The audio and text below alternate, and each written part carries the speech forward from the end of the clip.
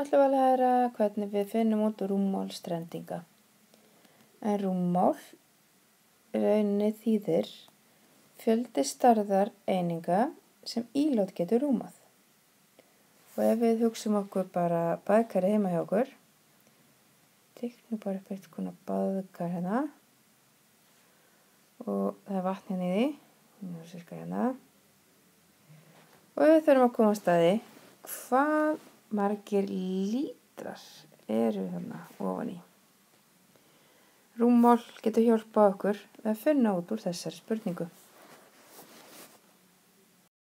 En þar sem við erum byrjandur í að finna út rúmmál, þá ætlum við bara að byrja á einföldum formum, við ætlum ekki að fara að mæla hvaða baðkari okkar tekur. Heldur bara svona formum sem auðvelt er að finna út. Og við ætlum að komast að því hvað mikið af vökva eða öðru dóti komum við inn í þennan færstrending. Það er búið að gefa okkur upp að hæðin á hann með 5 metrar, breytin er 2 metrar og 3 metrar er lengdin. Formúlan sem við fáum er að þurfum að markvelda lengd, sinnum breytt, sinnum hæðin. Þannig raunin það sem við höfum að gera er að finna flatamálið á þessum hérna grunnflöti sem er lengt sinnum breytt og markvelda það svo með hæðinni hingað upp. Og þá komast við að því hvað mikið er inn í þessum kassa hérna. Þannig við tökum lengdina sem er þrýr, markvöldum með bryttinni sem er tveir, svo síðan hæðinni sem er fimm og fáum út. Þess að sinnum fimm eru tíu og tíu sinni þrýr eru þrjáttíu. Og að þau eru fann að mæla rúmmál, því það við erum að mæla saman þrjár hérna, mæli, mæleiningar sem þýðir það við erum með metra og skrifum við þrjá hérna fyrir ofan. Við erum með 30 rúmmetra.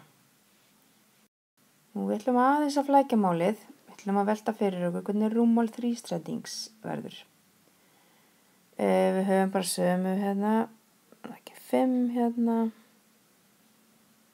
Og það er lengdin hérna bara 2 nei, hérna kannski hálf ólíklegt. Við höfum hana hérna þrjá bara. Og breytina tvo. Ok þá byrjum við. Sko þetta bláan í það. Lengdin og þrýr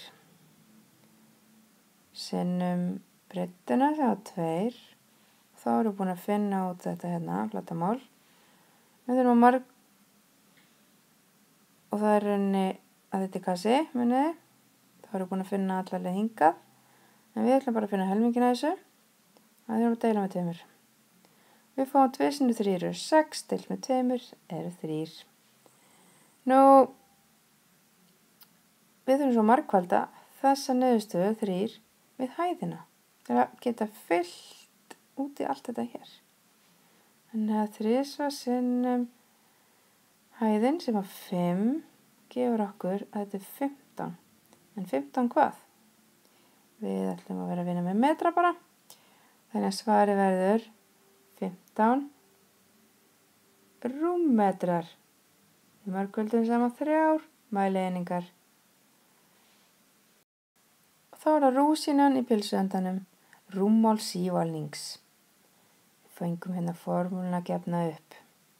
En við getum líka að hugsa þetta, við ætlum að fylla hérna sívalninga vatni. Og við þurfum að komast að því hvað þetta hérna, flata, mikið flata af flatamáli. Og flatamál rings er radius í öðru sinnum pi. Ok, og alveg eins og hinnum hérna, formúnum þau eru alltaf markvaldar svo með hæðinni. Byrjum að finna radíusin í öðru. Radíusin er 2.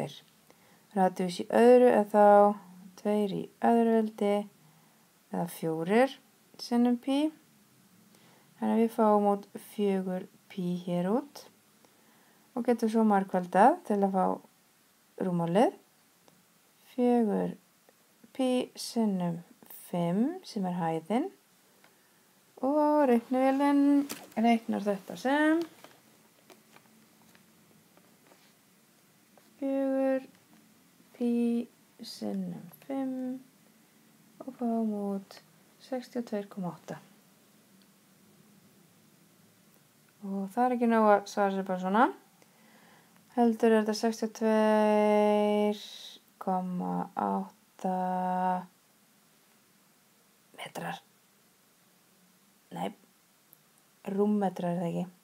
Þegar við vorum að nota þrjár mælingar eins og vennilega